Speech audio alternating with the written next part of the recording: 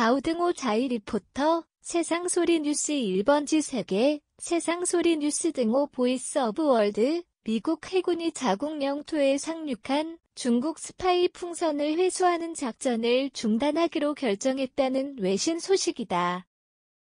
ABC 뉴스 현지 17일 루이스 마르티네스, 루이스 마티네즈는 해당 군 작전은 감시 목적으로 중국군이 사용한 풍선을 회수하는 목표로 2004년부터 시행되어 왔다고 전했다.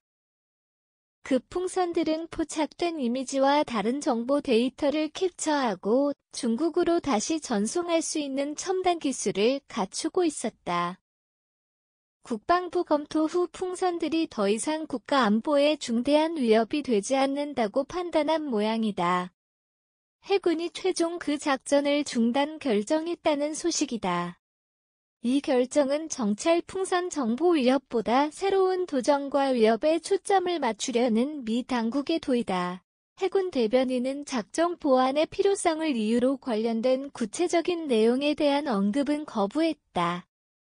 그럼에도 이번 해군 결정은 여러 안보 위험과 국가 이익에 대한 신중한 평가에 기초하였다고 전해졌다. 이번에 불거진 중국군의 정찰 풍선 사용은 미국 정부의 오랜 관심사였다.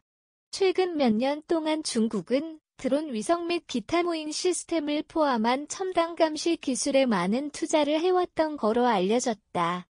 이 작전 종료 결정은 미국이 사이버 공격에서부터 코비드-19 팬데믹 등 세계적 전염병에 이르기까지 다양한 새로운 도전에 직면하고 있는 시기에 나왔다.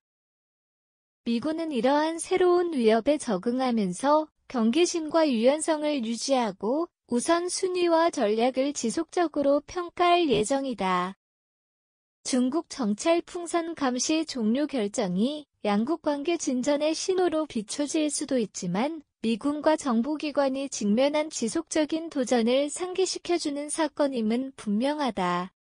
기술이 계속 발전함에 따라 국가 안보와 전략적 이익을 보호하려는 미국의 전략적 신호로 분석된다.